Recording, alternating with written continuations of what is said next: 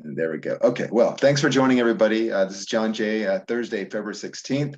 And uh, we're just going to talk about the process you would use to remove um, an IRS notice of lien, let's call it. The notice of lien kind of sticks. The notice of levy is being used to take property. So the notice of lien, it kind of bothers people. Um, it doesn't, it's not being used to take your property, but still it, it's intimidating. So and sometimes it's in the way and sometimes it's unfair. Now, uh, to, the way you communicate with the IRS. Let's go to that form real quick. So you can see I've already searched it up. Now, when you guys see the URL, I'll tell you all I did. If I go if I go back here, this is all I did. I just searched on this phrase. I mean, I just made this up. I just and here we go. I mean, I ended up with the dang form. It comes right off the IRS's website. And I like to use their forms. You do not have to use the IRS form. I recommend you do though, because you're dealing with robots real or not, I don't know, but if they, they like to see forms and the forms collect all the information that's going to be necessary. So um, the way I used this one is I'm applying for withdrawal. Now it's talking about the 668Y. It's a notice of federal tax lien. That's all I'm talking about here. Uh, you fill this out, your contact info, and there's got to be a reason. Okay. Now there's probably some check boxes. Now the one I just did for a gentleman, this is the one where we ran the clock on the IRS and he's got like it went up to like $850,000 and it expired and he never paid it. And now he doesn't owe him. All right. So we have to clean this up because they're not going to help us. Sometimes they just don't help you. Right. Mm-hmm. So uh, maybe some of these don't apply, but basically what you're looking at is, you know, one or more of these check boxes. It might even say only pick one. Oh, it says all of them. Okay. Yeah. So, but anyways, you would just read through this. But what, what I end up coming uh, down to is here. So like, in his case, um, so we, you know, the lien, the notice, let's call it the notice because this is not the lien. This is just the notice of lien. Their actual lien, they don't have a lien, by the way, but they act like they do. It's a collection of transcripts, and that's another subject, but we're just going to call it a notice of lien. So the notice of lien is expired under, and then you would just put something like, you know, you don't even have to do this much you know? And also it just as it turns out it actually is under the internal revenue manual and it's sickening that i actually remember this from the internal revenue manual you know? But anyways i just, think it's brilliant. Well you know it's there i mean if you want to look it up but uh, you just tell them look guys i know what the law says and uh, uh, it says that according to the date on this uh, this obligation is expired. And so the notice of lien that what i think what they do is record a release of lien so you're going to see the notice of lien and then you're going to see a release of lien. That is legally sufficient to allow like a closing company, like a title company to not deal with that. They're not going to say, hey, you have to pay off the IRS because they can see right next to it or, you know, it's been released. Mm-hmm. So that's this is how you'll you'll you'll get help is if the, you know get this off of the record there. Now, a co- so a couple things happen with the notice of lien. You might see it in the in the mail, uh, but probably before you see that, it's going to appear in your county recorder's office this is really what we're trying to do is to get the satisfaction of lien or whatever they want to put up there on a release of lien uh, on the public records also so it cancels they each cancel each other out. Now that's why you get these letters all the time from all these parasite law law oh yeah that's what they do. They pull up all these liens um, so the, there's another way too. You don't have to be in a situation where you ran the clock on them. You could be like um, well i've been in situations where uh, the client could pay the irs um, sometimes it makes sense to pay them. Sometimes it makes sense if they'll agree to a payment plan. If the IRS will actually remove the lien, if the IRS does not remove the lien, it'll impair his ability to pay. And so for that, we that would be in box 12 here. You just explain how, first of all, either the IRS or the government would not be prejudiced. That's what you, so you have to have some sort of fact as to showing why it would not be prejudiced. Maybe because you have a deal with them, right? Maybe um, it would facilitate your ability to pay more or something, you know, whatever. Well, or can you um, explain what you mean by the government would not be prejudiced? It, um, like for example, their notice of lien is just like anyone else. Anyone who wants to make a claim on you um, is in date order. So whoever makes the claim first gets to have the priority claim. So if the government has made its claim, it has a, position in time. And if it were to release that lien, it would lose its position in time. And if it did so in a way that jeopardized the collection where the lien before was securing its ability to collect and it removed the lien even if it brought the lien back maybe you could tr- complete the transaction and then get the money first before the irs could get it right that would prejudice them and so it has to be that set of facts to where it wouldn't create a prejudice in this case i'm showing you it expired but sometimes you can present the facts to show that it would not create a prejudice against them for collecting um, and also another version of that is if the lien is inhibiting you from the ability to either pay or make an arrangement to pay, right?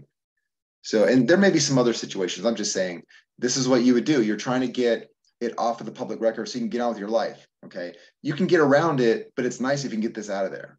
Right. Now, so, so that's which that's public. What's that? Which box would you check for that? If it's if it, um Okay, like withdrawal to facilitate collection of tax. See where I put the X here? Yep. That would be an example, right? And and sometimes, I mean, someone's going to read this. So, I mean, you can put in language here at the bottom. You know, you you sincerely believe that it would not prejudice the United States. Um, what's this one? Taxpayer did an installment, right? Uh, and the lien was imposed, and the agreement did not provide for a notice to be filed. Okay, so that's another interesting thing too. I mean, if you got into a payment plan, that's why I always recommend doing an offer in compromise because now you're documenting the terms. Whereas if you just call them on the phone, most people just call them on the phone and they're they'll say, yeah, sure, you know, they'll make a deal with you. And then you're stuck with that deal because if you change that deal, like if you don't pay, they'll never make a deal with you again on those tax periods. So if you do an offer in compromise and you get the people to come to the table that are qualified to talk to you and make a formal written agreement, you could be, you know, foresightful enough or insightful enough, or we want to call it, and hopefully this you can make sure this provision is not in there, right? That you're going to do an installment agreement, and the part of the agreement is that they don't you don't agree that they can file a tax lien. You see? I mean, they might catch that and say, yeah, but we want to, you know, and you can say, well, I don't want you to. And, and you have to explain, you say, well, if you do that, it's going to inhibit my ability to keep on paying you, right? So you can kind of negotiate that. So anyways, this is the tool. And, and of course, here are the instructions. It tells you where to send it and the criteria and all these things. So they always do that. Right. So the other situation is let's say I've, I've had this so many times where the husband, for whatever reason, you know, he owes the IRS. It's something he did exclusively, even though the couple was married a long time before that and they filed jointly. But uh, the debt to the household was solely due solely to the husband. And then because he was whatever for whatever reason he's uncollectible okay? Irs can't take his money. So what they do is they take the wife's money from her tax refund. That's the easiest way. So the way you would the way you would go about dealing with the irs is you would you would file this request for innocent spouse relief. And who's shuffling around there guys? Come on i gotta go find my thing and i gotta mute everybody. Who's doing that? Can you just mute mute yourself please I have to stop what I'm doing and find all the mute buttons. Uh, okay. Thank you. all right. So um, that, that's it. I mean, look, you got all your instructions and everything, right? And I'll just go over this in a second. I know it looks lengthy, but this is like you're dealing with a machine, so you kind of have to do it. Remember, we always make fun of the IRS. We dread the IRS, but realize that they're just doing an accounting function. I mean, really, we don't like the fact that the IRS has police powers. Uh, you know, that is a problem for everyone. But it is just performing an accounting function. And all this rhetoric you hear on the internet about the IRS going away, it's never going away. Because the IRS is the accounting function for the United States. It will always have an accounting function. You can call it anything you want, Ernst and Young. You can call it IRS. It's still going to do the same thing. The problem we have with it is the police power that's for the most part abused. you know, um, so you have this form, innocent spouse relief, and I'm going to back up just a little bit and I'm going to show you. See, again, it came from the IRS website, but look here, you've got the actual form that I just showed you, and you've got more instructions. I don't know if they're different than what's already on the form, but I'm not going to click on that. But you see here, I mean, this tells you everything. So, yeah, we just get to 8857. Let's just jump over there real quick. So I'm not going to go through the instructions, but as you can see, you're going to identify the tax period um, you know, your contact info, and they're going to ask you some questions. And see, they're going to try to qualify because sometimes it, you don't qualify for innocent spouse relief. But I can tell you that most of the time, if you just answer this form truthfully and accurately, you're going to get it. If you're innocent, I mean, if you had nothing to do with the debt, you're going to be fine. So you don't have to try to, you know, persuade them or something. Just tell the truth, and you can see it's it's kind of lengthy, but um, how you're involved. They want to make sure there's a complete separation. You know. Um, what kind of knowledge do you, did you have about the situation? They want to make sure that you're not benefiting from this in any way, which is kind of, I guess they have to do that. Yeah, and they're not asking for more than they need. I mean, it, it, it's it's really about that one situation. So now here, yeah, they want to look at your stuff too. So uh, that's another reason not to own things. I mean, Mhm. whatever. I mean, yeah, I mean, let's say they uh, levied your, you know, the wife's uh, tax refund for a couple of years. This form is written so that you can go back and get the money and recover it. And so what I'm saying is, you might be able to reorganize uh, your stuff so that you can answer this in a way that's actually favorable to yourself. That's what I'm thinking. All right. Yeah. So, yeah. I mean, look at this. Oh, I guess they have to ask, right? I mean, but you've already told them this for the most part. They want to look at your living expenses. That, that's like the four thirty-three A. Well, maybe they're basing the decision on how it has affected you financially, right? Which really, and I- I just think it's not fair that, that you do that. It- it- If you if you were innocent, you were innocent. It doesn't matter if you're a millionaire. just because you have a lot of money doesn't mean you should pay somebody else's debts, even if he's your spouse, you know. So, anyways, I- yeah, I, I think this is, but this is what you have. I mean, if you don't use this form, I mean, it's going to be kind of difficult. I mean, just think, it's great that they have this form because otherwise you'd have to go to a tax attorney. He'd probably charge you several thousand dollars to write up this document. Mhm. So there you go. I mean, you got you got to give them some credit. They, at least you know they they do these forms. So easy enough. You guys can probably guess at that and uh, find it on the internet. The one I want to show you though is on your credit. so there's three bureaus that everybody talks about: it's Equifax, TransUnion, Experian. Okay, um, big subject. I mean, there's a lot to talk about there, but there's about at least let's just say uh, nine consumer credit reporting bureaus. So, what is a credit reporting bureau? Okay, an example of that we don't talk very much is one called Chex Systems, C H E X Systems. And Chex Systems is kind of an interbank credit reporting bureau agency that polices um, whether or not you owe a bank over here uh, a fee for something, some transaction, and then you're trying to open another account at a separate bank, different brand, and owe their buddies over here, like you owe Chase, but you're trying to go with, um, you know, Bank of America. Chex systems, the bank will always pull the file from Chex systems to see if you owe a bank like a $50 fee or something. And they'll tell you either pay our buddies or we're not going to open your account, you know? So it's kind of like a lien. So what the reason why we know this, okay, what qualifies a credit bureau is that it is regulated under the Fair Credit Reporting Act. So Chex Systems is one of those reporting bureaus. So we all know Equifax, Experian, TransUnion. So here's what these creatures do. Um, when you ask for a validation on something or a verification of a credit item, you're trying to dispute it. Okay, what they'll do is they will they will look at your credit file and see if maybe there's some collection of information on your credit file that justifies them reporting the item. And they'll tell you that it was validated if they can do that. Like, for example, if you had several versions of your uh, address or several addresses that um, you don't use anymore, but somehow it leads them to conclude that you have an accurate item and and even if it's not accurate, you know, they'll they'll leave it there. Uh, what they'll do though really is they don't go to public records. Equifax to validate or verify something will va- will verify it through another regulated FCRA type reporting bureau. And I'll give you the, the prime example is going to be LexisNexis. Okay, so LexisNexis is under the FCRA, just like Equifax. It's just that it people don't normally interact with LexisNexis, but Equifax does. And when you dispute an item on Equifax or TransUnion or Experian, that company will simply contact Trans or uh, LexisNexis, and LexisNexis is already obtained the same information that Equifax had. Okay, so it's like um, verifying with yourself whether or not you're crazy. what is FCRA? Huh? What is FCRA? Okay, the FCRA is the Fair Credit Reporting Act.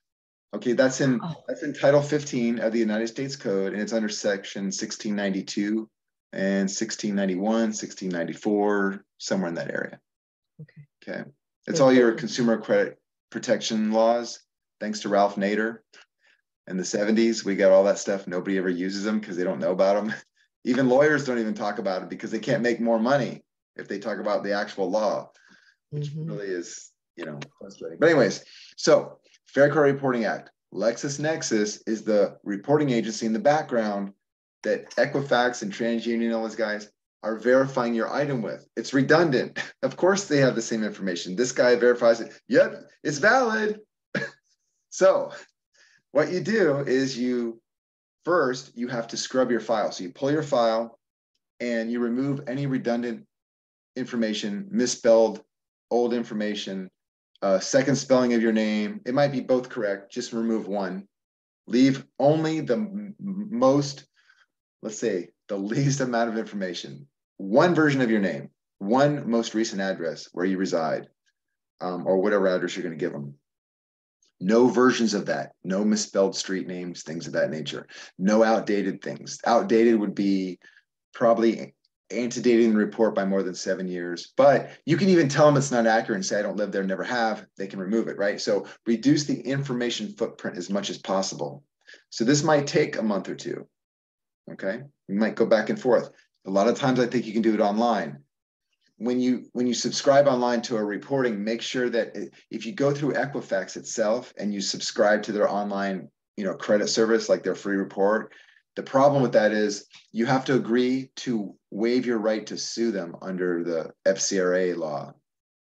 And, and that is a that's a big no-no because you want to be able to sue them and you want them to know that they can that you can sue them for money right? So you don't want to anybody who has a deal with them to pull their credit, they they they waived it. So you're gonna have to cancel that. And there's an opt-out provision.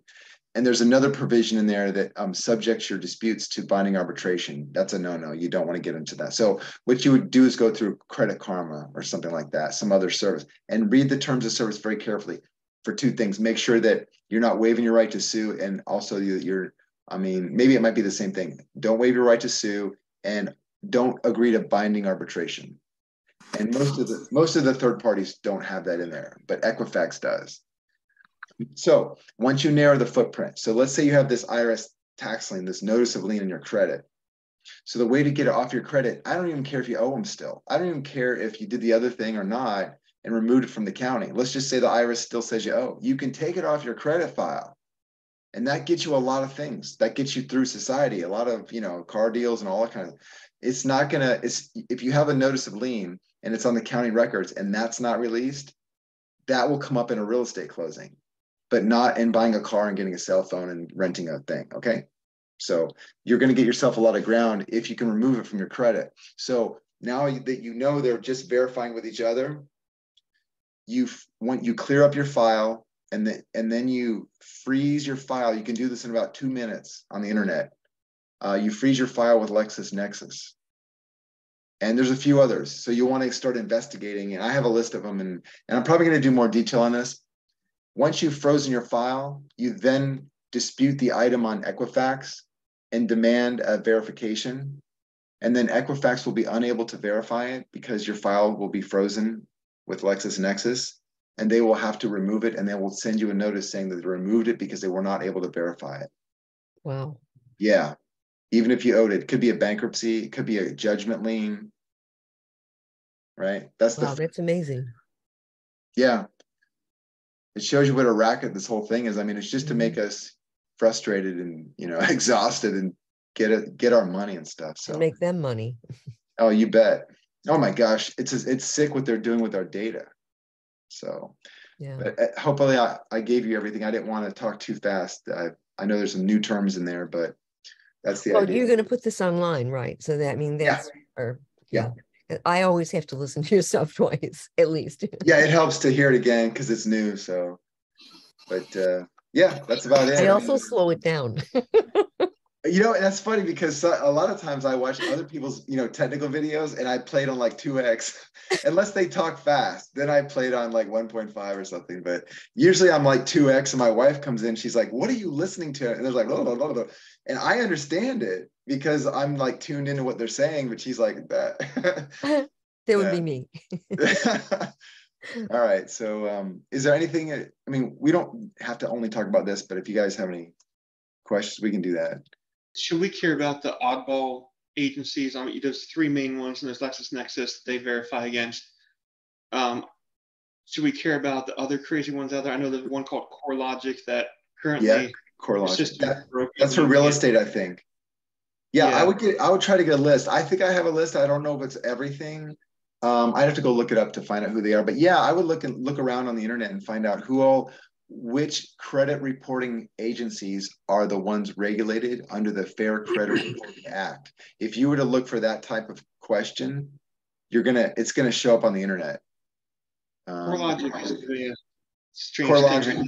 yeah, and there was another one that was acquired by somebody else, and they're still using both names. So Yeah, that's that's the problem. we're having. When you try to freeze at CoreLogic, they redirect you to the other place, but then the other place Yeah. says we're not associated with them anymore, so we can't do it. So there's kind of a loophole there where you can't freeze CoreLogic. Well, then they're breaking the law because they gotta they gotta allow you access. So I don't know. I, I haven't tried to go through like I'm saying, but most people that I I'm hearing this from, and I'm talking to people that, that will follow up, they will go online and do this. So uh, I think online is your way to go. It's way faster. Well, I just, I just tried it today. The, the CoreLogic website, they have two options. You can print out a form mailed in, or you can call Yeah. in. Oh, Um, but both, Yeah, right. both of Some those you have to options call. redirect to the other place first, which they're not working with anymore. They don't. So they're currently they're just breaking the law. Yeah, exactly. Yeah. So you know we, we're running into that stuff. I mean, let's see here. I'm gonna see if I've got CoreLogic. Yeah, there's another one like there's like nine or twelve. Um, another one is let's see, E Oscar. I'm looking here. Yeah, E Oscar, Lexis, Nexis, Sage, Stream, LLC. Okay. I'm, I'm reading off my list, and I'm like I said, I, I probably need to get this updated. Innovis is another one. I N N O V I S. Um, check them out, see what they're used for. I mean, some of these are relied upon by the real estate closings, and some are not. Uh, ARS is another one. ARS-consumeroffice.com is the website. There, yeah, CoreLogic is in there. So, anyways, I'm going to come out with a more of a, a complete suite of strategies here. Uh, so that way, like if you have to write a letter, I'll just write the letter for you, and then you could use my form letter. So we'll get into that more. Uh, but yeah, that's how you handle the IRS thing. And I mean, you can do that with bankruptcy items or whatever. I mean, you don't have to argue with anybody. That that's the thing. I mean, just avoid conflict if you can. We got two hands up, so let me pick uh Peyton. Hi, hi. Hey. Thank you, John. Yep. Um, uh, my question is about uh, how can I file uh, an LLC that uh, isn't through the state? I think you mentioned sort of as an aside, a way to to establish an LLC without uh, filing with any state. Is that did I did my ears catch that right, or Yeah, is that's correct. So what um if you're gonna deal with the banking system, you probably can do it. It's just that the employees will think you're weird. That's okay. Um, but at some point, they want to see that your your business is resident in their state. Where The you're employees or who? The, the state or the? the bank. I'm talking about the bank. So the usefulness of your company is the fact that you can do banking. Now, if that's not the issue, then we don't we don't have that. We don't care. But for most of us, if to answer, I'm going to answer your question so other people can use this. So the bank wants to know that that company is subject to the jurisdiction of the state in which it is operating. So you would you could ask the bank, what can I do besides registering with the state to show that it's present in this state? And they'll say register with the state. But then again, you have to talk to somebody. So um, uh, the old way of doing it is to uh, publish it in the legal notices section of your newspaper or some other periodical. I mean, today it might be electronic, right? Mm-hmm. And and and then also having the name of your business, like if it's a brick and mortar or something, or it, maybe you got a billboard and it's a website, but you got a billboard. Well, then that might be enough where the bank will acknowledge that okay, we're we're seeing that it meets the legal criteria for doing business in the state. You can also uh, look up your statutes that explain what constitutes um, business presence in the state. That's an important fact that we don't talk about too much, but it's in the case law. Um, if you can meet those criteria, which is pretty easy to do, then you should be able to get away without registering with the state. But remember, you are still a, a resident of the state in the same way as if you register with the state, but that is the way around it. Well, are you familiar with David Robinson's work?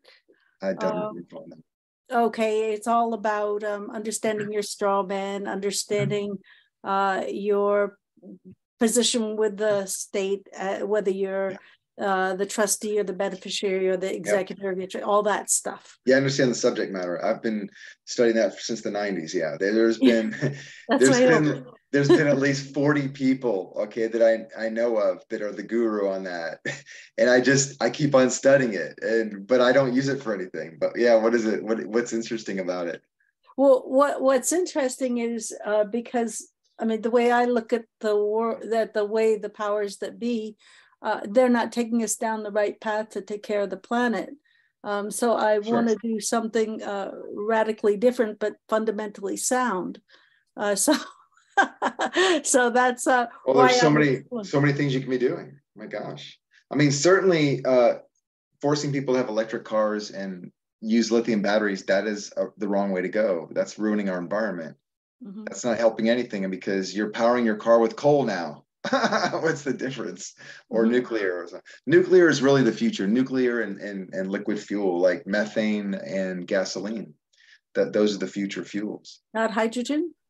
Hydrogen is going to be good, but like I said, um, methane. The reason I say methane is because the methane molecule carries the most uh, densely packed version of hydrogen. So with methane, we can use we can use methane for hydrogen. Is what I'm saying. Mm-hmm. Mm-hmm. Well, well, coming back to the topic of banking, you know, one of the hurdles or one of the obstacles we have coming up is the CBDC, and uh, yeah. uh, uh, how how might we? Uh, and I'm okay I'm, for that one. My first thought is you're going to end up with some. If you could, I don't know if you can do this yet, but with technology, maybe you're going to end up creating a straw man. The problem that you may face is the biometric data. And I think there's a way around the biometric thing. But again, I don't want to participate in that system. So I'm really not sure which way to go yet. Yeah. Um, but I can see there there's going to be some, we might just have to take that technology and set up our own way to use, you know, acquire supplies and get in business. Mm-hmm. So I don't know yet. Um, I mean, because right I, mean, now, I, ha- I, I have a colleague that keeps saying, you know, don't file with the state because then you're uh, submitting to all okay their nastiness. All right, tell your friend. I've said this so many times. Tell your friend that because I use a lawnmower to cut my grass, I am not a lawnmower. I'm just using the lawnmower. It's a tool. If I use a corporation as a tool to manage financial risk, it doesn't make me a corporation. it doesn't do anything other than what it's saying it's doing. It's a person that's a fictional creature of the state, and I'm using it to indemnify myself because the state is giving me the indemnification. The state is my tool. It's okay. a good thing. it's not hurting me at all. If you don't know what you're doing, you can get run over, as you've seen, you know. Yeah, that's what I, right. I know what that. I'm doing. There's that. All right. Thank okay. you. Oh, sure thing. Peter and Terry. Yeah, I can spin off a lot on what we're, what you're talking about there. So a lot of things are coming up uh, when we're talking about the whole fiat system, where uh, we're going to have to look at alternative communities, and the main things are going to have to be an economic system first, and then food, water, alternative yeah. power, things like that. And there are people who are doing it, but we have to get enough people on board to really realize uh, what are we going to use for a currency? Well, we are the currency. Uh, and so rather than working with the central banksters, we have to come on over and look at what they're doing in, in the crypto scene. And there's many things with Monero, Dero, things like that. Once we get enough people doing that, we look at El Salvador, they're doing it. Uh, we're in Canada right now, and we just, we're in a community here in a valley in the mountains in British Columbia. And just to get people to go in that direction is very, very difficult. Very, mm. very well, El Salvador, all it did was hijack Bitcoin. It yeah. turned it into a taxable currency. It yeah. didn't help anybody. What's going to help, and I think people are going to realize that we're still going to need a banking function. We're yeah. just not going to want to use it to exploit people we're going to need a, a, a, way to borrow money. So here's what here's how it goes now. Consumers that need money, they just go, uh, or they want to do things in this in our economy. They they go and borrow from the banks, right? That's where it starts. So it gets originated like in a credit card. Okay, well, why why originate money uh, as a consumer loan when I can originate money when someone goes to retire? So why not why not use the the why not introduce new money into the into the economy as people retire because the population is going to be expanding i mean if they're not interfering with it so uh, and also why not originate money when we need uh, public property developed we need roads maintained and things like that why not originate the money that way and instead of originating the money and, and just jamming it on consumers and just they're getting money all the time. They're originating money all the time because everything they do is originating money, credit cards, mortgages, and et cetera, and insurance contracts, and even bank accounts are originating money. Why put that on us and let us and have us do it when you're going to inflate the economy and you're going to exploit us? Why not originate money when you're going to serve people? Then do we have a need for property tax then? Right. based on their, you know, so yeah, we're gonna we're gonna be into that yeah. And we're going to have to kind of learn history a little bit, but we're going to still be left with a, a debt system. It just needs to be maintained. It's just like a 30 year mortgage is just a way to subsidize the purchase of homes. And then you're going to end up where we are now. And you don't have any control over the pricing, and it's totally not fair. When really, the building of a home, I mean, if you want to finance it, what's the problem with seven years? Why don't we don't need 30? What's the problem with two years? I mean, all you're going to do is drive the price down you're still gonna. I mean, the the monthly salary of people in Cuba is fifteen dollars a month, and they're. I mean, they don't have great conditions over there, but they get their food, they pay their rent for fifteen dollars a month because the value of the currency is higher. You know, that's just that's just the society. So if you stop subsidizing things with consumer debt, the prices come down and they're real and they're more stable. You you guys know that. But I think we can use cryptos for that. Sure. Yeah. And, and, you know, I'm going to send you some really good information on a guy out of Britain who's actually setting this up right now. He's doing a, a phenomenal job, but we can be talking about this on oh, for yeah. the next couple hours. But where I was, my question I was going to pose to you, John, is uh, providing that a person's totally out of debt and doesn't have a mortgage and uh, doesn't need so what it is is preventing ourselves from being liened out and becoming a secured party creditor. Uh, sure do you know much about that and how people can do that? So uh, if, if we're going to lien ourselves out, lien out the properties, uh, then of course, if the IRS or here the Canadian Revenue Agency is going to come in, well, they can't go lien out unless they pay out the lien. Perhaps you can expand on that. They ignore it. They ignore it? Yep. Really? Mm, okay. Yeah. I've seen people do that. It doesn't do anything. It doesn't help them financially. The only way to actually use a lien is to use a lien that they recognize. I mean, it is recognized. It's in the UCC. It's adopted in all of our state statutes mostly, uh, and and they just it doesn't factor into creating a priority. The way you do create the priority though is actually use the court system. Now, like I'll give you another example. Let's say I um I want to strip equity from real estate. Well, I can protect a, a, real estate piece of real estate from creditors that would have to sue me, but I'm not going to protect it from the IRS because the IRS has a, a priority over judgment liens. So in order to protect from the IRS, I can't own it. I have to convey the title. So even then, I mean, and the state itself has a priority over the IRS. And I think mechanics liens are over the IRS also. you know so yeah so so they'll use that but but the uh, security agreements that people file if they're even if they're done correctly are completely ignored um, and maybe it's because people don't know how to use them or they can't find a lawyer to do it because the lawyer's not going to help them but i can tell you that the banks use them and the banks use them for commercial loans you know uh, because they're going to foreclose on people's interest i have a client right now they're doing that on with the security they are the secured party creditor. Mm-hmm.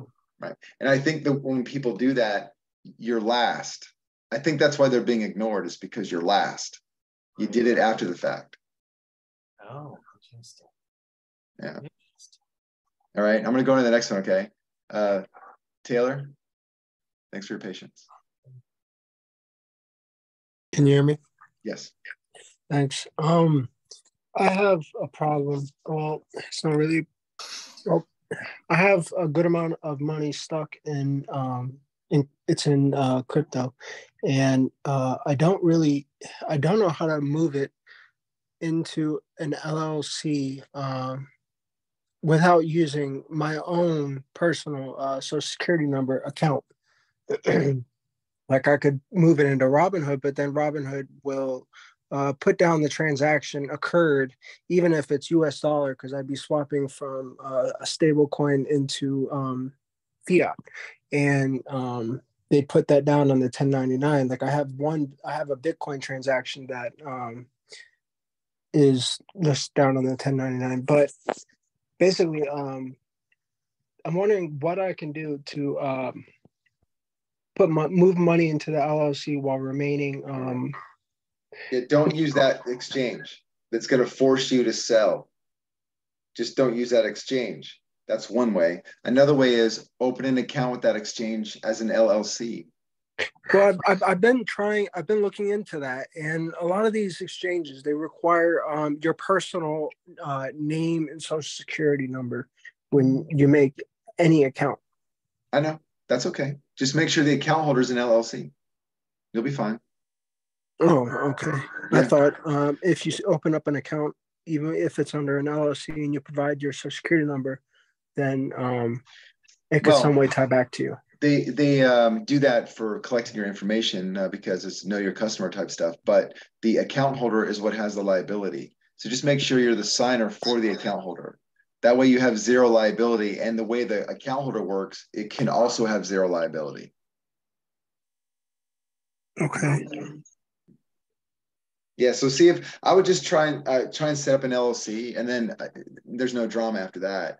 Otherwise, you can use other exchanges, uh, even Caleb and Brown. Just move from coin to coin, and then you can wire it out. Try to get it out of the exchange somehow. Uh, now I have I, I, work my my partner has an exchange he just set up a few years ago. Actually, we've been using this, and we can do large amounts. We can do up to I think seven million dollars uh, per client per day, going from crypto to dollar or back and forth. It doesn't matter. Mm-hmm. go to precious metals too if you want. And and by the way, uh, they don't send up. We don't do any 1099s, and we, we set it up so what the whole thing's really anonymous. Nobody knows anything. Um, and we don't even give out the website information because it's private. It's like a you know a private club. So if you want to if you want to do something like that, there is a premium. They're going to charge you like eight to twelve percent, might be more but you're not going to end up with like a 39% liability, you know? Yeah. Yeah. All right. Yeah. Um, I'm definitely interested in that. Uh, where, do you, where do you want me to message you? You can email that? me or Telegram. Telegram is, you know, uh, at JJ Singleton. And just let me okay. know you, you want to check it out. And you can look at the fees and everything. You can even talk to them on the phone and see if you want to do it that way. I use them actually. I use that exchange to um, go in and out. so. Okay. All, All right. right. Good one. Right, and uh, Brett, what'd you have there? Yeah, how you doing, Jay? It's uh So I'll give it a wave here. I sent you a message on Telegram, but um, Oh, short short version is uh, I you created one of the um, uh, blockchain trusts for me and the LLC.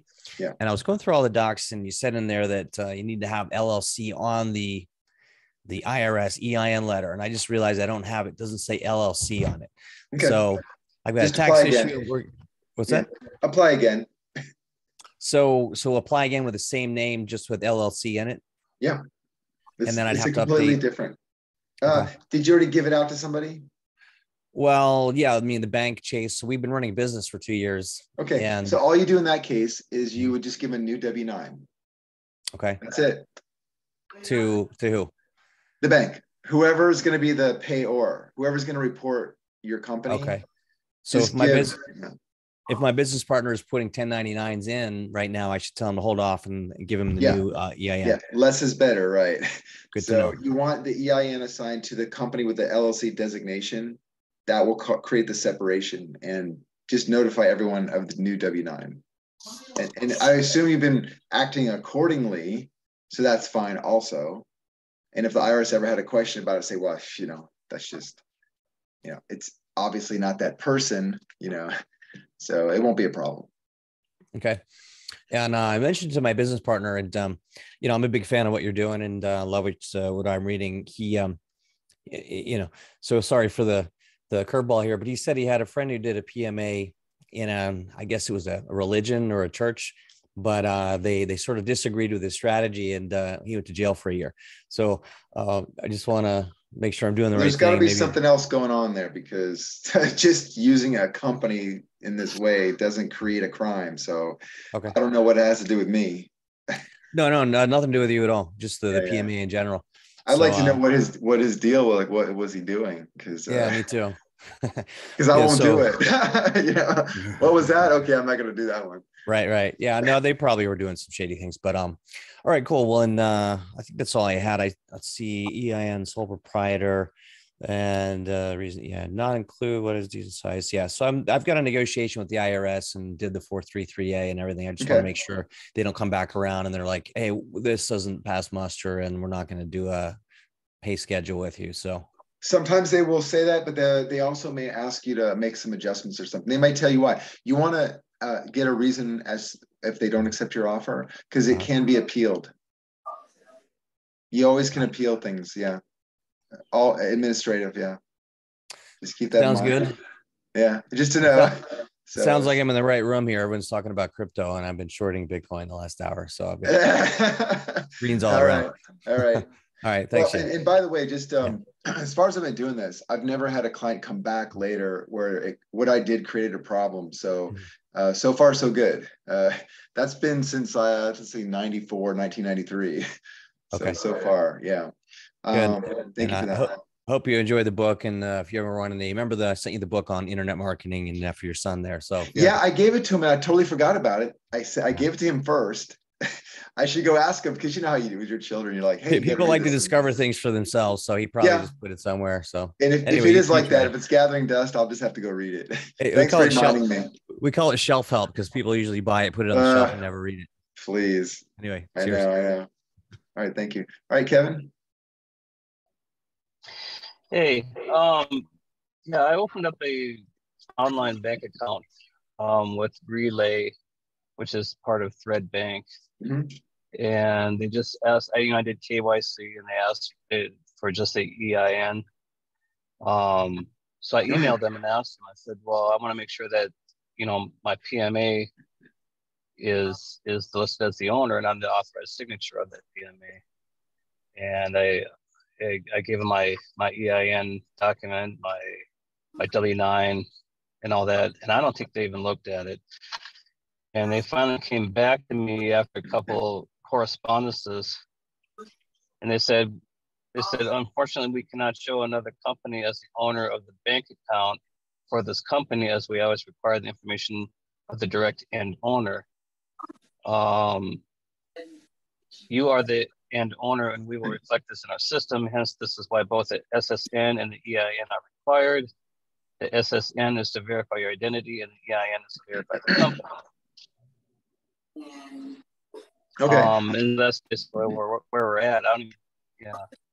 Well, you got to think Do this do through. First of all, you shouldn't you shouldn't you open a can of right? worms. You shouldn't you shouldn't have called contacted them and talked about the PMA. You should never talk about the PMA. No. No. You have an. LLC, that's it. Okay.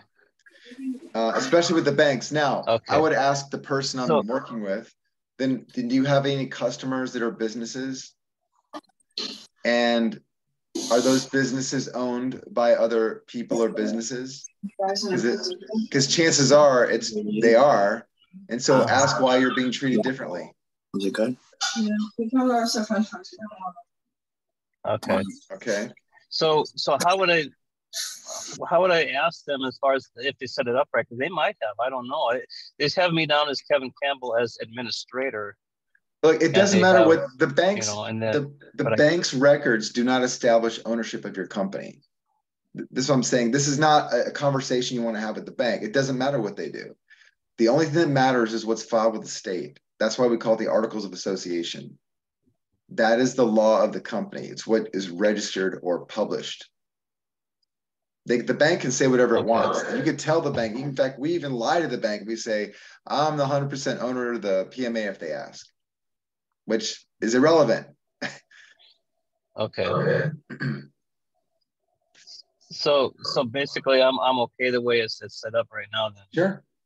Yeah, as long as they open the account and tell them anything, because your articles establish the uh, rights and liabilities of the owners and your beneficial interests and has nothing to do with the banks. Now the banks try to, you know, collect information to help out the IRS and other creditors that you might have let down the road. But uh, right. the articles would preclude them from doing that. So really, you could just tell the bank anything. You can even amend the articles later. Okay. Man, because you, you could tell them one thing one day, and the next day you can amend the articles, and what they're not your business partner. You don't have to tell them that you did that. And if you did it every day, I mean, it's just a ridiculous thing that they do. They try to police everything. But if you think it through, you realize they're they're treating you differently than anyone else. I mean, I'm sure they have investors where those companies are owned by other businesses. So how are you different? It's like if if an accountant for IBM is opening up a local branch uh, banking service for IBM who's coming to town, right? Or Walmart, the, who's going to open that account? Probably an accountant. The actual accountant is going to use his SSN. He's going to sign for it for IBM, an international computer company, right? Well, why is why does the bank Right. not have a problem with not knowing who all the owners of IBM are? But they have a problem with you. Right. And why is Okay. the maybe the accountant doesn't So- own IBM stock? Why is why is the accountant required to be an owner of IBM in order to open an account? It doesn't have to be. And they're doing it to you though. You're saying I'm only the signer, and they're saying, yeah, but you have to be an owner. No, I don't. Okay. All right. So so basically then if I'm using this account and if I hook it up to my personal account somewhere else or if I wire money from a personal account into this account, does that create create, create a trail that the IRS can follow or The trails don't matter. They're they going to be there, but will don't follow um, it- No, uh, but but don't connect your personal account to your business because you might create the right to offset. It's like uh, okay. you know what offset is, where the banks just take your money out because you owe some other branch of the bank. Right, right. But yeah, if you bleed them right. in like what I was wondering. if you treat them that like a personal account, the bank will have a right to treat them like a personal account. So just I'm not sure exactly how the inner workings are, but I always recommend against that. So some sometimes that just means you can't have a convenient thing. And for me, I'm good with that. I'd rather be inconvenienced, you know, and, and have my money protected. So just keep that in mind. Okay. Okay. Yeah. All right, cool. Yeah, you're doing everything good. Just just don't just make it simple. Don't try to have a conversation with these idiots. I mean, they're smart people. I'm, I'm saying, Yeah. but they just they just really they're trying to do the right thing at their job, but they're kind of like uninformed, right? So Okay. don't Yeah, provoke. they, were- them. they were pretty friendly with me actually. Yeah. They, they weren't bad. It's just I just want to make sure that everything was done right. So you know. Well, less is more. if if they're gonna go and do it, yeah. let them do it. You know. All right. Thanks for that one. Yeah. Uh, I'm gonna go to John here. All right, so thanks. Sure thing. John, what you got? Hey, uh, or actually, maybe you don't want to answer this because this might have been before you started recording.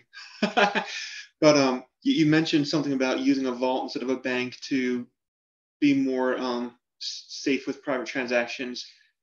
Can you talk more about that, or is that too private? No, I can mention that. Um, I uh, sometimes have a situation where I have to move money for a client or show him how to move it, or he's, he's money's locked up somewhere, and so I like to use a vault service. So if I'm doing something internationally, um, I can wire money between vaults because they have to take money, and many times we get the bonus of being having access to other currencies, and I can do this in any way I want, and the vault service i can even do it in my client's name uh, because the vault service is not part of the banking system that's reporting on people. It's a vault. It's it doesn't have a banking license put it that way. That's why i like Caleb and Brown. I don't know even how they're classified. That's one What's that? example so what, What's, what's, that, what's that company called again? the account? Yeah, you said something in brown. yeah caleb and brown is in australia and it manages uh, cryptographic currency for clients in, in a, a very traditional way, uh, like you would for securities, but it's not a banking facility or a licensed bank. So it's not under the same rules or treaty restrictions like any other bank would be. Meaning that if you're dealing with it as an individual, you're not on the radar, so to speak. You're not being reported to the Financial Crimes Network all the time or the IRS. So And- you, and I- yeah, go ahead. so you could like send crypto to them and then have them pay someone else in their local currency. Not exactly. You could do it that way, but you got to work something out. They have some rules. So the rules are, an example, uh, whatever account holder's name you're using in Caleb and Brown, you can only send to that account holder somewhere else. So you can get money out, but it has to go to the same account holder. You can't just pay a third party. Now with other vault services, you can do that. I've used them for settling things too, like a big transaction. I can I can close a deal somewhere in a, a foreign country that's outside of the jurisdiction that the deal is taking place. So you have no tax situation then.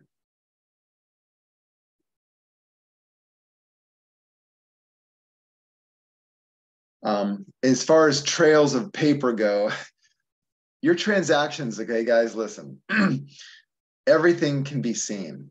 Not only that, but everything can be seen forever, like probably back to the 80s. So here's a crazy example. I pay someone a thousand dollars, and then that person takes out of that thousand dollars, he buys his groceries and then uh, pays the utility bill and then whatever. He spends the money, and then the people he spends the money with, they combine that money with other people's money, and it goes on from there. As you can imagine, it's this craziness, this path, right? Well, there is software that's been around for decades that can map all those transactions, every single dollar, every single penny, and show you where it went and where it came back. It's like it's like playing the weather in reverse. If you video recorded the weather, play it in reverse and see where all the raindrops came from. They can do that with our money. And there is no $10,000 limit. It's not $3,000. It's anything they want, and we'll never know what that is. It's some algorithm, and they're tracking. And I can only tell you this by reverse engineering what I'm seeing. They're only they're tracking unusual amounts of money. And if it's unusual and it's $47, they don't care. If it's unusual and it's 40, $4,700, maybe. Right? I don't know if that helps y'all, but it's not like in Hollywood. It's they see everything. So that's why I like doing what I'm doing because they can see everything and I don't care. Nothing's wrong with it, right? Mm-hmm. Is that along the lines of what we were talking about? Because uh, I just I had remember from Kevin's question. Yeah, But yeah, yeah. Yeah, vault services. I mean, if I can, I mean, here's another uh, hypothetical example. If I have gold in a vault, okay, it's, and I like the allocated vaults, right? So, so my gold is not on a spreadsheet. It's actually physically in a vault. Now that's what Singapore does. BullionStar, unless they changed it, they actually have allocated vaults. So my account, they physically have to go to a room, and they have to like you know move my gold somewhere. Okay uh, and they have to do it on the accounting too. But if I'm going to trade with somebody, let's just say uh, I'm gonna I'm gonna trade a, a hundred thousand dollars uh, for something. Maybe uh, maybe I'm yeah. So the the person would have to open up another uh, an account at the vault service, where I have a vault service. Or if we don't, we both open accounts at the vault service, right? And then we can do our transaction through the vault service just by telling the vault service, hey, do this, right? So I can move money from my account to his account or whatever. I can do it in cash, I can do it in gold, whatever, in the vault, in that country, completely off the grid, okay? So we can buy and sell real estate, we can do commercial transactions, you know, all these things, whatever you can create, whatever you can imagine. But that requires the other person to be interested in using the vault as well. You can't just like Sure. tell someone, hey, you have to use this vault service. So they'll be like, no way. Pretty much, yeah. It's going to be that special transaction where you're pretty much going to be on the same page. You know, usually people that think like this are going to be open to it, or they'll be impressed. They'll like they'll be thinking, "Oh, okay, I never thought of that before. We could do that. Yeah. Hey, let's settle this real estate transaction in Seychelles. Why do we have to settle in New York? Let's settle in Seychelles." hey, Good point. Good point. Hey, got another question for you. Um, do you know? Um, so I've got um, yeah, I've got a rejected offer in compromise at the IRS, And part of that process is you you you you pay them, you know, hundred dollars a month while they're deciding on it, right? And then they decide, no, we reject this, and I appealed it, they still rejected it, but I kept paying hundred dollars a month, and that seems to be keeping them happy somehow. Is that a normal thing? Can I Okay. just Yeah. $100 forever and My, mostly, mostly my purpose in doing an offer in compromise is to get get get avoid a surprise levy where your whole account's wiped out. Or if you have a pension fund i want to avoid that from being touched at all. Uh, so um if yeah if they'll accept a payment and it wasn't part of the formal agreement and they're going to accept it you don't have a commitment from them to not levy. But what you can do is if you're paying I, I mean, I really think it's not fair that that you what you just described as not being fair to you. What you can do is open a complaint with the taxpayer advocate's office and ask if you can get a memorialization of the agreement because the agreement is I pay you hundred dollars a month. You, you see what I'm saying? You already have an agreement. It's it's reflected by what you're doing. What you want is another agreement, another provision that says, and uh, we're not going to just try and levy your accounts. You can maintain your notice of lien and I'll keep on paying you, but don't wipe my accounts every three months. Well, I don't need to worry about that. I took your And that can be avoided too. Yeah. Yeah, I mean, I got, I've got nothing in my name for them to take, so I'm not worried about that. But I mean, well, I mean, I, but I do, um, I feel like I need to wait a bit. I figure, you know, eventually I can just fire, file a new offer in compromise, and eventually they'll accept it since I have no income, Yeah. no assets. Yeah. Um, but until then, it seems like just keep paying hundred dollars a month is keeping them quiet while waiting to file a new one and Yeah. waiting to file a new one until I have a whole tax year with no income um, to kind of prove Yeah. I'm really stuck. I think you figured it out. I mean, I would keep on doing that. And if you're in a situation where it's really hurting you, like it's creating a hardship, every time they send you a notice of lien or notice of levy, you can always do, uh, you can do a form 911, you can do a, you know, collection due process hearing request, keep on hitting them with those. And eventually you're, you're just going to wear them down because they have to stop everything when you do that. They have to give back the money and stuff Yep. if you do it within the 30 days. So you got that on there too. That's aside from your appeal on the offer in compromise. Okay, I didn't realize that was a third thing you do after that. I always do that. I'm the biggest pain in their ass. I mean, I just I I, I do a 911. There's a 911 form. You guys know this? Did I you did know hear you that? mention it before. Uh-huh. Let me see here real quick. I mean, can you believe I mean that the government agency has a form 911? I mean, what does that tell you right there? Let's see here. So if I go up here and I'll just show you what it looks like. I mean, it's really easy to fill. It takes like two minutes. So this is what I would, in- addition to asking, like submitting a new offer, like I think you maybe they'll consider it after six months, I, I think. Yeah, so I'm gonna go to the IRS's website and get it. That's probably it. Yeah, there you go. You see that? You just fill that out and follow the directions. Uh, that gets you the taxpayer advocates. And then the other one is request for a collection due process hearing and just follow the instructions. Um, I have uh, this one.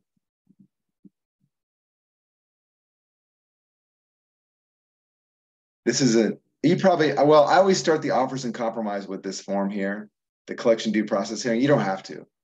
Um, let's see, I'll go, to, I like the IRS's website. Yeah. So one, oh, okay. So yeah, it's a one, two, one, five, three. I don't know. You can find it yourself, but here, here we go. So yeah, I would do these forms.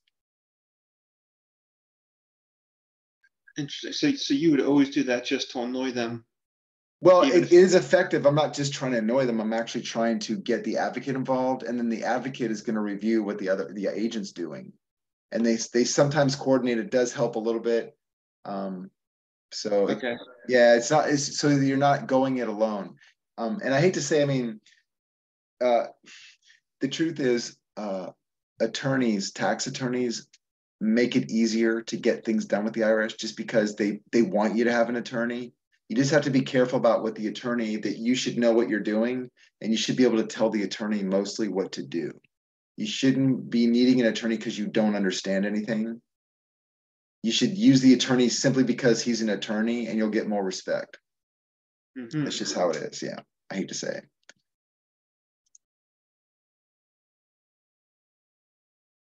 Sounds like you did pretty good though. I mean, on your own. I mean, that's it's tedious. I can tell you. I know doing the six five six is ridiculous. It's worse than a ten forty. All right. Anything else? No. Nope. Okay. Thank you, uh, Michael. Thanks for your patience. Hey, okay. Hey, I always feel like I'm asking too many questions when I come on here, Uh. but I'll try to be, be brief here. If I invest in personally in an oil partnership to get a tax break, okay? And when I get royalties, can I take those royalties and just put them in my uh, LLC? You can, uh, but just make sure that if you're getting a tax break, then and you, so this is after tax money. You've already dealt with the IRS, and now the royalties are just out there. You're not avoiding a tax this way, right? Okay, I thought it, I, th- I thought it was tax deductible, the money I put in. But when you get money back, is that, that's tax advantage as well?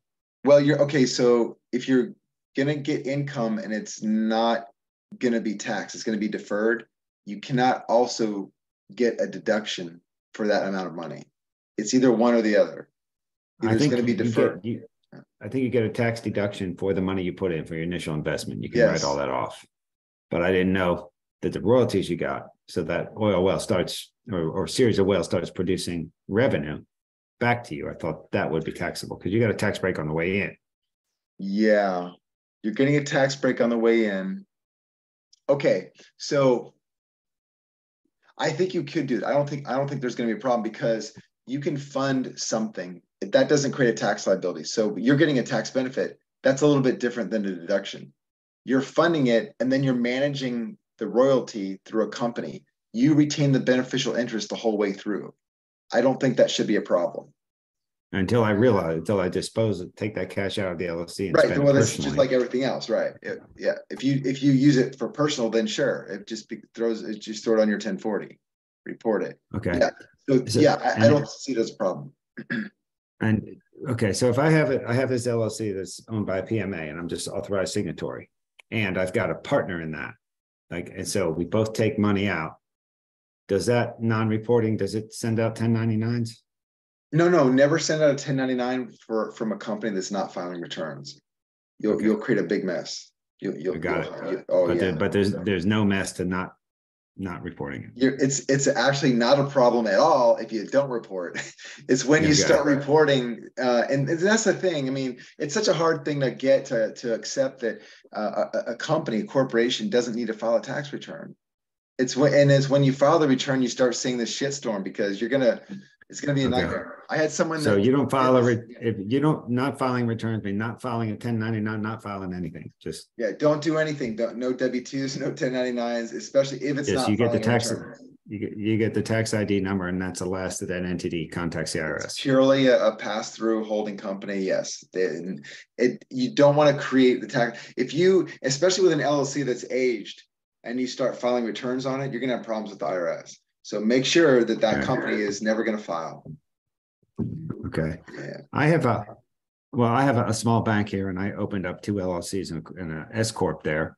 And she said, yeah, they check on the website. She never checked anything. All she did was get the EIN number. And I said, okay, I want to open one, one more. She says, get, just get an EIN number. So being the cheap, lazy guy I am, I want to file in New Mexico, you know, fifty Okay. bucks and done once. So I went through it today and did everything except pay. And, uh, but I just took an address, any old arbitrary, Yeah. you know, little shack address and did that. And then for the mailing address, I put my actual business address. Okay, sure, that's great. That's Perfect. okay. And then, then there were just two questions on there. That one was, uh, the limited liability company may carry on its business um, and affairs as a single member LLC. I wrote no. Okay, that's fine. And that was Okay. in the articles No, that's on the, that's on the website. The questionnaire you have to go through. You have to go For the through bank? everything. or for the No, Secretary of for, State? for the state, for Secretary yeah, of State. okay, that's fine. That's fine because Okay. whatever you say today can be different tomorrow. Everybody knows that. Okay, this is just like the bank, you write.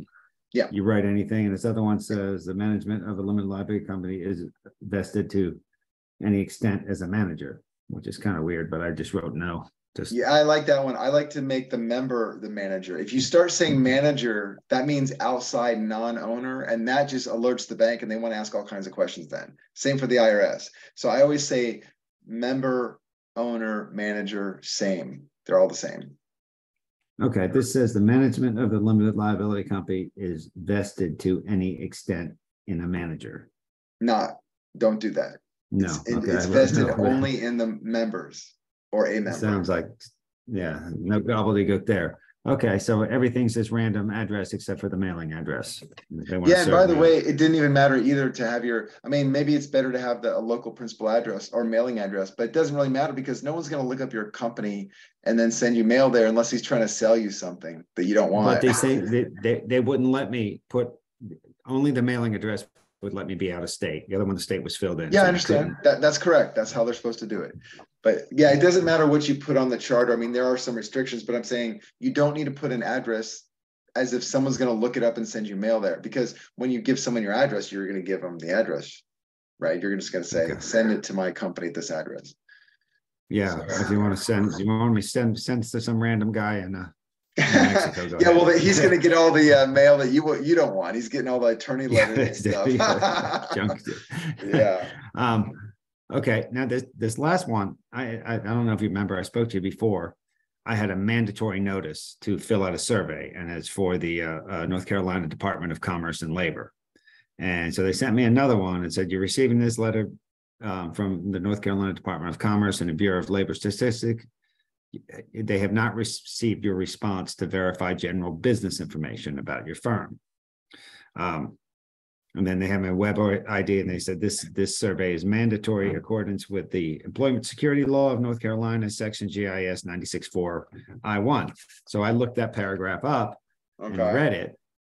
And the, the strongest sentence that I say here says division may require from an employer any sworn or unswear sworn reports with respect to persons employed by it, which the secretary deems necessary for the effective administration of this chapter, including the employer's quarterly tax wage, et cetera. Um, so they're saying, but is this a law that I have to follow? Because I, I, I, I, my, my books are in order. I'm not worried about it, but I just don't want to participate in that crap. No. I mean, I'm, I'm with you. So I mean, I I- just, If I were to, if you want to send it to me, I love responding to those, but just off the cuff here, um, I always ask them, who sent you information informing you that I was an employer? How did you acquire that information? How do you, how did you conclude? What facts are you relying upon to conclude that I'm an employer paying wages? And that doesn't answer the question. I'm just gonna start at the beginning. Who are you and how did you get that information? okay. Are you making says mandatory right here, look. And next question, notice. and this is my only other question when uh, relating to this. Since when is it mandatory that I testify to anything?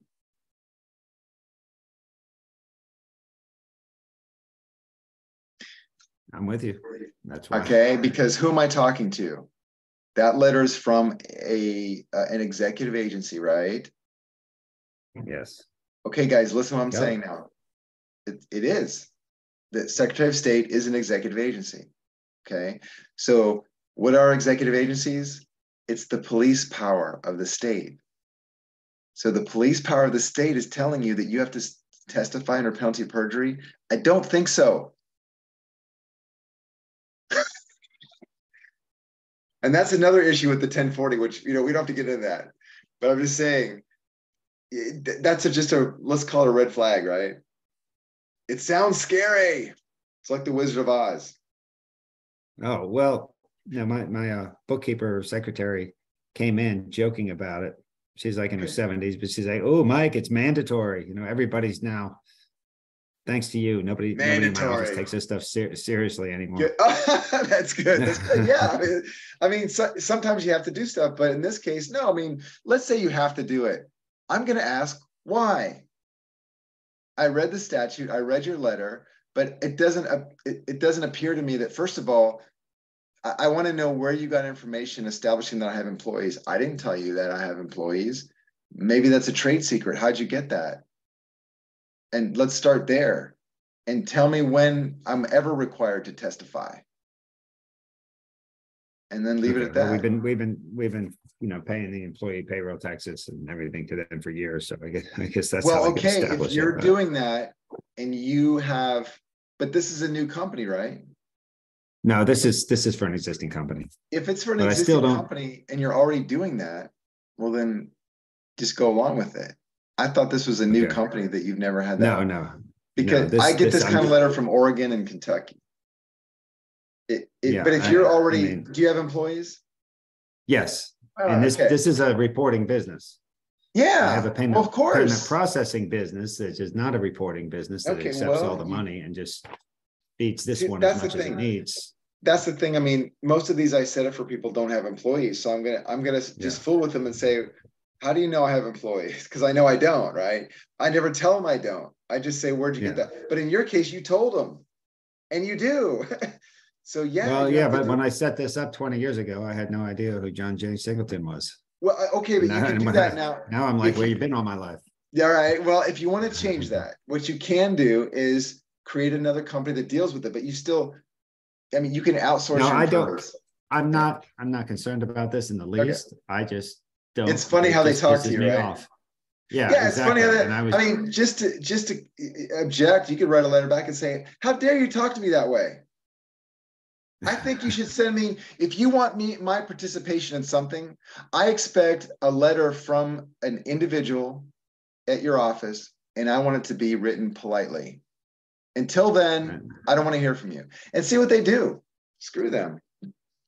yeah, We're-. We're the parents, right? Let's start telling them how we want to interact. So I just, uh, I just wanted your thoughts on that. I'm not, and Tim, this really is no consequence. I could just go participate and forget about it, but, uh, that's. Yeah, I well, don't want to. Yeah, I, I, I would have to go along with it because you already, you already did, so. But uh, I kept thinking it was, you know, one of those new companies that has no employees. No, no, I'm sorry. All I didn't clarify that. That's all right, no problem. All right, thanks, Mike. All right, Elaine, so what do you, what's on your mind?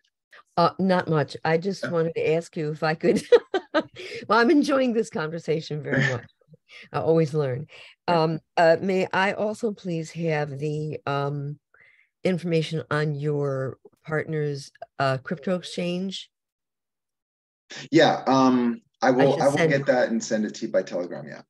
Okay, and the other thing, uh, I is there like a minimum amount that you have? Thank to- you for asking, because I was just gonna say, he, he doesn't like to deal with like ten thousand dollars and stuff. He- prefers like the most money, the most money you can, you know, that you can do. And he likes to do single transactions. So I've used him for real estate and things like that. And I found over, you know, over the time that because I like to try to structure it, and he, I learned that that's not how it's best to work with him and his liaison. Mhm, So you're you're better off if you have like a large. Don't do like frequent trades mhm. exchanges. If you're gonna like, I only use them maybe once every six months, right? And it's gonna be over a hundred thousand dollars, something like that. So just keep that in mind. I mean, he probably might do something for you if you have forty thousand, but make it worth Well, you know, uh, well, I just, I just want to know if I have an option there because I, I am with Caleb and Brown. And uh, we're hoping that these cryptos are going to turn around at some point. I'm sure but, they will. um, but yeah. Um, and the other thing was about the vault uh service that you use. I would imagine they have a minimum also. Nah, they just have a high premium. I, I Oh, would okay. I would shop for more. I mean, I've been kind of lazy on that because I don't do use them much, but uh, that that's been my go-to for many situations, even in domestic ones or only in the states. But I think there are better ones now. I think, and probably, I mean, BullionStar might even have a better deal now because they have more competition. I mean, they were the one of the first. I mean, what ones. what what name did you just say? I couldn't. Well, understand. it's called BullionStar, and it's in Singapore. oh, that's that's almost irrelevant these days because of Okay. how we do things. But why why not use one in the states? I mean, if you do find one in the states, it's not going to be Coinbase. It's going to have to be you know a vault service. Um, I don't know who that would be. Mm. Um, I don't know. I, Well, I, I really if I- if I- research on it. if I keep my New Jersey identity up, maybe you would get one in New Jersey. Yeah, keep using that. yeah, Yeah. try that. I have to do some more research. I mean, there are some interesting places. There's some vault services. There's some in Texas and uh there's North Dakota. North Dakota is the only I I'm sorry. it's- Yes, North Dakota. It's the only bank that deals in silver and they only deal in silver and uh they have a banking license. They don't deal in fiat. So if they've got a banking license, they're not really just a vault service. I mean, and is that defeating? They're a banking like they're they're a bank uh with a vault service and they only accept precious metals. You cannot send them dollars. Mm, you have to trade your dollars for precious metals and drop ship it to them and then they'll vault it for you. And they also will pay you uh, like a cd they'll pay you for using your silver. Like they'll pay you a what do you call it? A return on your silver. Hmm, that's interesting. How do they use it? You'd have to go check it out. I mean it, they don't make it convenient but it, it is a place to store uh, precious metals uh, and it is a bank and it's insured i mean i think this it's owned by the state it's a state bank that's what it is Oh, It's a North Dakota state bank that is uh, deals only in precious metals. Oh yeah, thanks for that one in the Cayman Islands deal with the metals fiat. Okay, that's good to know. Thank you. Yeah, I mean it'd be nice if you guys know these places. Um, I'll pass it around. So uh, what is it? SWP Cayman. SWPCayman.com. Thank you for that one. Uh, and uh, let's see who was oh, Brett. What did you have? Uh, just a, a follow on to uh, the other guy's comment on um, not filing a return. So I haven't filed a return on the PMA LLC, and we set it up in 2021. But I am getting a 1099 for 250,000 or so. So it's going to put it on the radar any either way. Is that a problem or? No, it's not putting anything on the radar. If you file a return, that puts it on the radar. on the radar, let me translate this. So being on the radar means the United States believes that it needs to reconcile accounting. The only way it would know it would think that is if you filed a tax return. If someone reports paying you money on a 1099, okay, and it's paying to the LLC that doesn't file, nothing to reconcile. Okay. Yeah, because I don't want them to think I had all this money. Obviously, there's expenses and employees and all kinds of uh, commissions. And so uh, okay, they don't think anything. The IRS does not think anything. It's an accounting system and it has records of things and it will have a record of the money received by the LLC and there will be nothing to it. They will see everything. I, I used to be, I had that concern. I remember back in the 90s when I started doing it for a few people. I mean, I would, I would pull out, I- would take a company who's got a regular levy, a dentist office, and I would set up a new company in a week and move all the money over there. And the, and the next week, the IRS is calling my client. They're so nice and they want to talk. And they saw what I just did. I'm showing up with my client as his power of attorney, and they don't care. What are they going to do? It's an innocent party now because I took the future money and I just defeated their ability to levy, but I did it legally. I have the right to do that. I didn't lose my property rights because they were taking my money. I just lost some money, you know. So yeah, 1099s, no problem all day long. Cool. Got it. Thanks. All right. Okay, well, I appreciate the questions. That's good conversation. I think I'm going to sign off for tonight. Well, Thank what you, is it? John. Is it is it almost the weekend? Yeah, it is. That's why I like Thursday evenings. So that doesn't mean I'm not going to work though. My gosh, I got a few things. You guys keep me busy. So, but it's fun. All right. Well, thanks so much, and uh, I'm going to end it for tonight. Y'all have a nice weekend. Thank you, you too. right. Thanks, John.